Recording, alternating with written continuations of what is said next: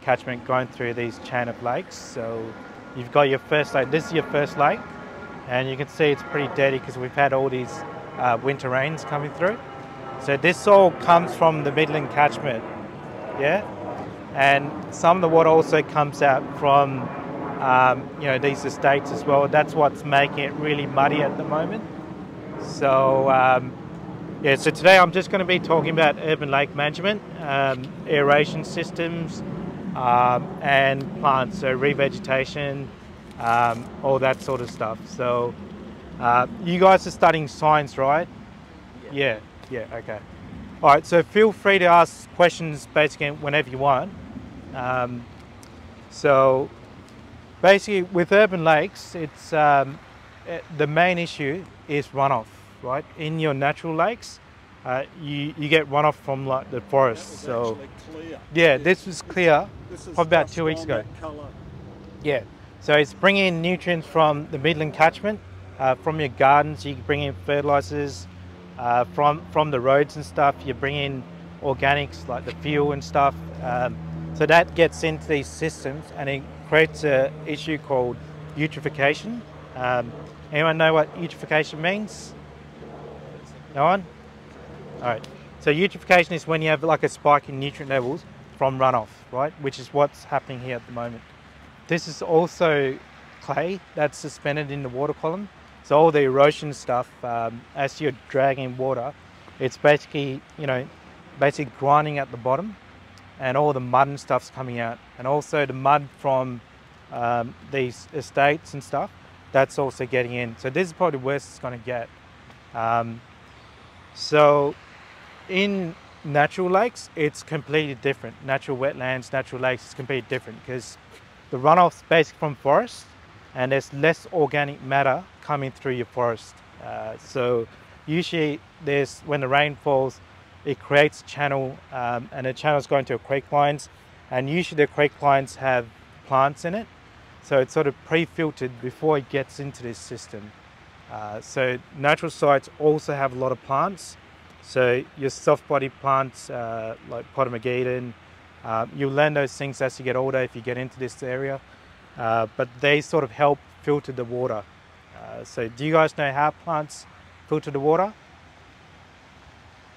Not really? No, so basically they absorb the nutrients, they sequester nutrients um, out of their leaves and they also sequester it through their roots, right? So plants are a really important component. And in urban lakes, they don't like too much plants because in council sites you have uh, irrigation pumps and that's used to basically pump out into um, like sporting fields, into parks, um, and that's basically, if you put plants in there, it could get clogged up. So not many council managers uh, want plants in their system and that's part of the problem. And I think I spoke to you guys before about the impacts of koi and wetlands and stuff. Yeah. Um, so the other issue is in urban wetlands, you're getting a lot of um, koi, uh, pearl cichlids, uh, goldfish. Uh, people just dump them in, unfortunately.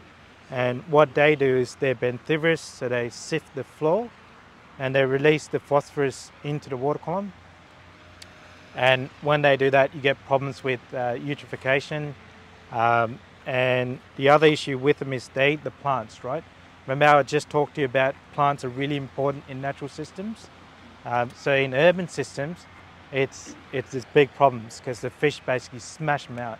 So most of the sites that have a lot of koi, they pretty much hammer it, right? So that's where you're getting this, these issues like this.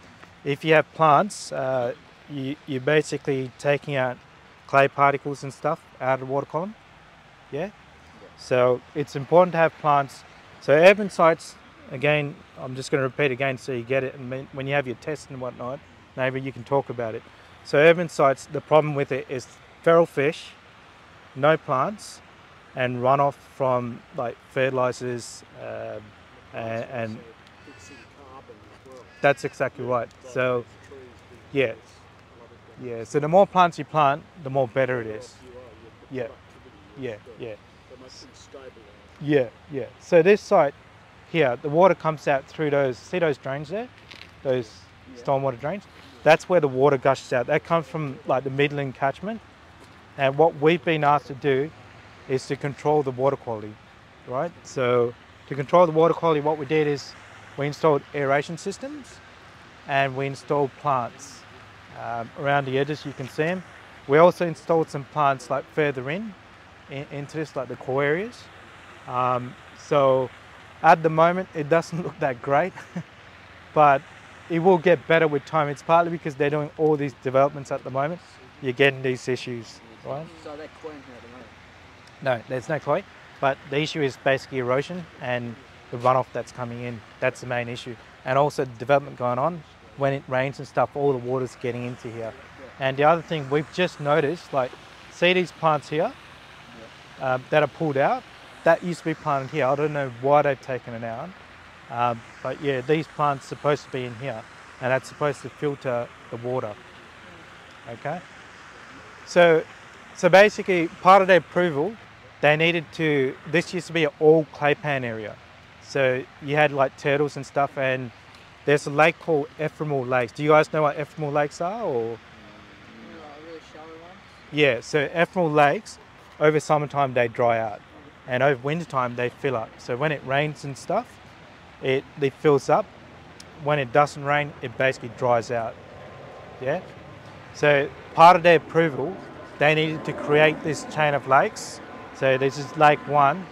Um, then it goes through like a creek line. You see where that spoonbill is, that bird? There's like a creek line across there you get plants growing over there as well. That's where we planted. So it sort of gets pre-filtered and then it goes to your next lake, so your second lake, and then it goes into a third lake, and then it goes into a fourth lake, and then it goes into the Helena River. It goes to next lake, next lake, uh, and that's about it. Yeah, yeah, Now, all this is supposed to be filtered out yeah, before it hits the river, isn't it? That's the yeah. driver. Pretty much. That's that's the whole idea Yeah, behind it. Vegetation will out. Yeah, yeah, that's the whole idea. Yeah, so this is um, Paul Van Eyck. He's, he's my boss. Uh, so he'll he'll discuss macroinvertebrates a bit bit later on. Um, I also wanted to run you guys through the benefits of aeration because that was um, one of the uh, key components of urban lake management. Uh, so as I said, aeration systems are, are, are vital. It's like essential uh, for for urban lakes because if you don't have that, then and you don't have plants, and you're having feral fish, you're going to have issues because you're not going to get good good aerobic bacteria. So, can you guys explain the benefits of aeration at all? Like any benefits you can think of? Oxygen. Fish can Yeah, oxygenated water. So it increases the dissolved oxygen concentration, and then the aquatic animal inhabitants they'll they'll basically increase in numbers. So your native fish, frogs, uh, your turtles they'll they'll appreciate it a lot more. So that's important. Another good impact you said was it mixes it. Yeah. Really important. Yeah, that's really important, especially in deep lakes. Um, so you have two different types of aeration I'll talk about later. In deep lakes, if you're mixing it, it causes a process called uh, destratification, right? Because in your lakes you have your top layers, which is basically uh, warmer, and then you got your bottom bottom layers, which is colder, and it's sort of anoxic versus aerobic. So when you're mixing it, like see what that's doing right now, it's mixing it it's going to activate all the aerobic bacteria in the bottom of the lake, right? And when it does that, what happens? When you activate the aerobic bacteria, we've talked about this.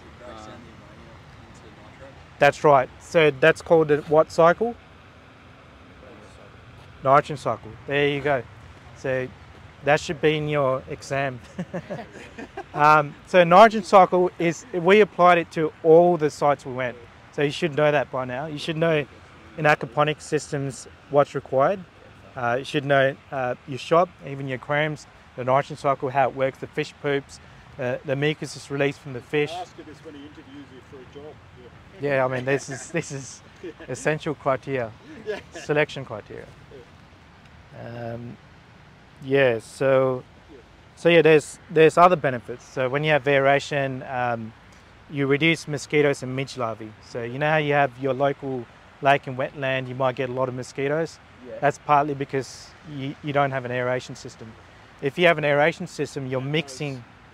Those- Yeah, Yeah. Swarms of midge. The Yeah. midge like the anaerobic. That's exactly right. And the they, they don't bite, but people get all bent out of shape and house prices go down. Yeah. all- Just because these midge are flying around. Yeah. Yeah, so Yeah. so mosquitoes. They don't bite you. Yeah. They're fine. Just hold, keep your mouth shut. Yeah, so so mosquitoes and midges basically like high nutrient level, um, and they like low oxygen level. Yeah, so that's one of the impacts. It also reduces heavy metals in the system. Um, yeah, I think we'll we'll probably try and take them for a walk first and explain a bit about stuff later on.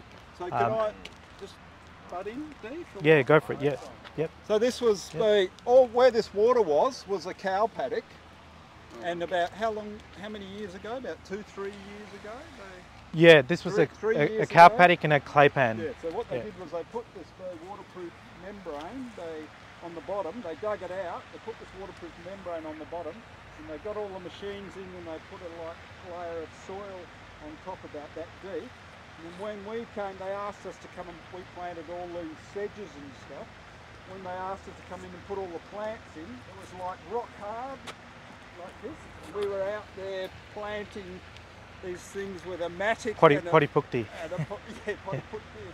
And it was very, initially it was a sort of a nightmare, but then all the plant sedges grow very quickly because wetland systems are very productive